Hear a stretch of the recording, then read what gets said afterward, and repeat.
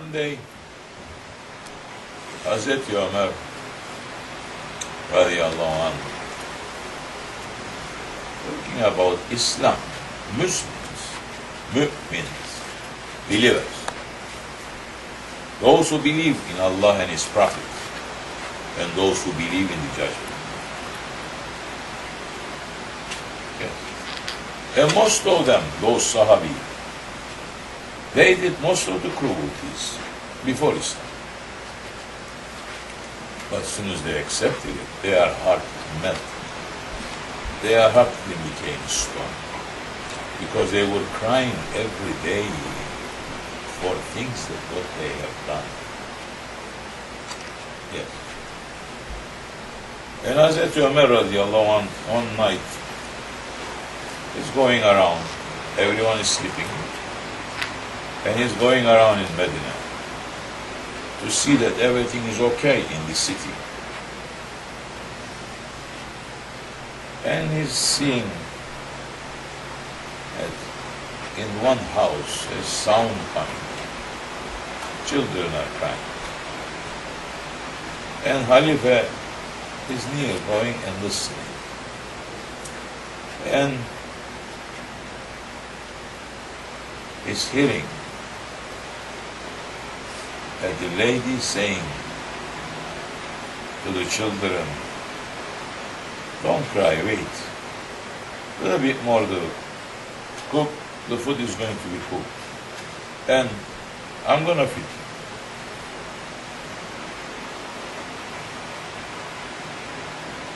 And Ali Ömer is hearing, waiting, waiting, waiting. She's saying the same thing. And he said, something wrong. Ya Allah, Bismillah, the door, and he opened and he entered. Saying, Salam alaikum. Alaikum salam. Saying, oh lady, see, there is a fire going on. When this is going to be cooked to feed those children, they are, they went to have sleep from hunger and they just waking up from the hunger again and crying. And why you are not keeping your job properly to feed them early? And saying, oh, stranger, leave me alone. You think that the stone that is inside the pan is ever going to be cooked? Because I'm just fooling these children. And saying, what happened? Where is their father? Says their father is dead. He went to a war and he is dead. And she said, she says something wrong about Khalifa and saying that I'm going to take my right from the Khalifa in the judgment.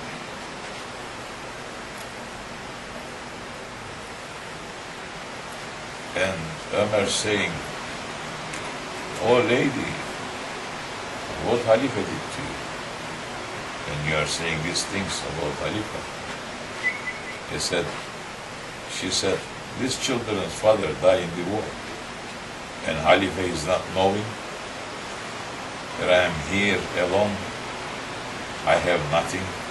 And Khalifa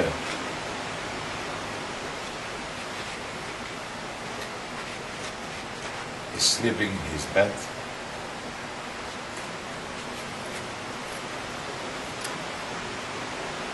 And she said, Ömer said, Oh lady, if you didn't go to tell Khalifa this matter, how he is going to know? I said, if he didn't know, if he wasn't going to know why he became Khalifa. So his job is to know. So for that, I am asking my rights from him in the judgment day. And saying to her, You're right.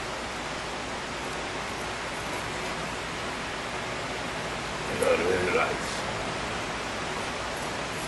As Khalifa had to know that your husband died in the war. And you have to think. So he said, Wait, I'm coming. And he went back to Beitul Mal. He got one can of oil, one big uh, bag of flour. He got so many things. Khalifa put it on his neck. And he is going. Ibn Abbas radiallahu anhu was with him when they were traveling. And Ibn Abbas had watched the incident. And Khalifa came back saying, Ya Ibn Abbas, come. And they came, they came to Baytul Mal and saying, put all this on me. He says, no, I have to help you. He says, no, you cannot help me. I have to carry all this. He says, Ya Khalifa, I am here to help you. He says, no, you are helping today in this world. But how are you going to help me in the judgment? So for that, let me do, because the burden is on my neck. And he carried. He came home to that lady. The fire almost turned off. Khalifa went down, put the fire, start blowing in, and prepare everything, and cook. And the lady saying,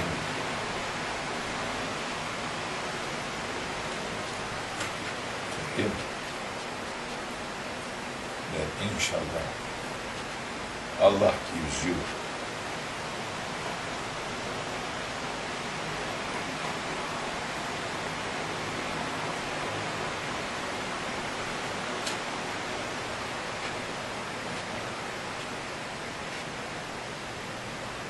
the position of Umar radiallahu anhu. And Umar saying, Oh lady, tomorrow come to where Khalifa is living and I'm going to take you to Khalifa and you have to say to your complaint to Khalifa and he has to do something about it. Because if you didn't complain to Khalifa, then you don't have too much right in the judgment day too. So you have to go to complain to him now. And I'm going to be witness. And lady saying, okay. And they left everything. And Khalifa came. And Ibn Abbas radiallahu anhu was shocked with the incidents. And right away he start thinking, what we're going to do? This matters. There is so much work to do. And we all involved in this. We cannot leave everything Allah. And next day lady came. And they brought her to Umar. And she have seen this is the same person. And saying, so you are going? He said, yes. He says, then why did you sit on that chair? You're not going to be able to carry it. so Khalifa said, yes, you teach me a lesson. And now on, I'm going to look better at the matters. He says, now did you forgive Khalifa Umar? He says, now you're going to come here every week you will, what you need to live on, I'm responsible. They're to carry it to the house. And I'm watching now that every time people going to war, their name has to be written, their name has to be registered, who died, who's wounded, and we have to take care of those people. Some ignorant and arrogance, they are fighting back and forth all the time, saying, this is bidat, this is bidat, this is bidat, this is the time of Umar. He made this and he made that, and he made the tarawihs like this too. Yes, it's a good bidats that build Islam up, that Holy Prophet left to them to do. And they went through experiences before they are putting so many things into Islam like that. But there's still so many arrogant and stubborn ones fighting there. Doesn't matter. So sometimes later, when Umar was a Yemen, and he was a Khalifa, he visited Yemen. And in that city, they heard that Khalifa is coming, so they prepared big welcoming to Khalifa. And Hazrat Umar, when he reached to Yemen, and they put, as soon as they come, they put in front of him something to eat.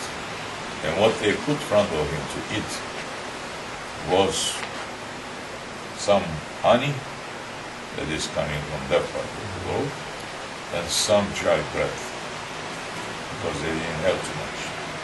And Umar radiallahu anh saying to them, Oh,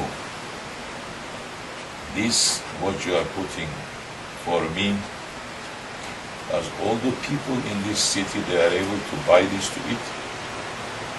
I say, yeah, Umar, how, how anybody is going to reach to buy a honey like this to eat? Impossible. He says, we just, we don't have too many things, but we have this to offer to you. He says, no, now that is haram to me.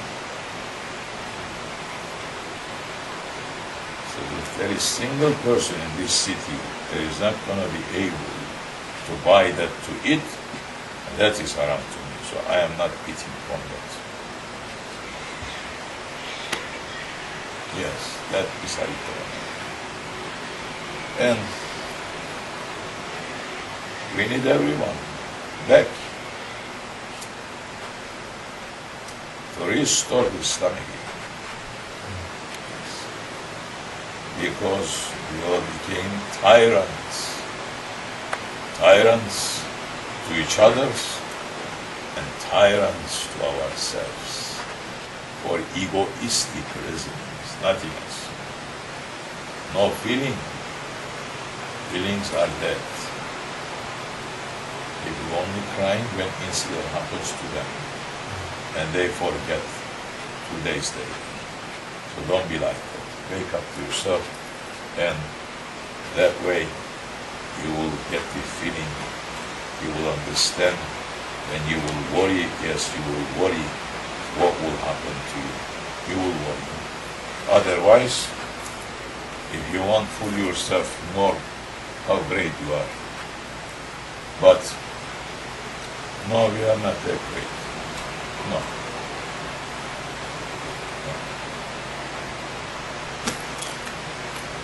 Inshallah, this much is enough for you for another year maybe.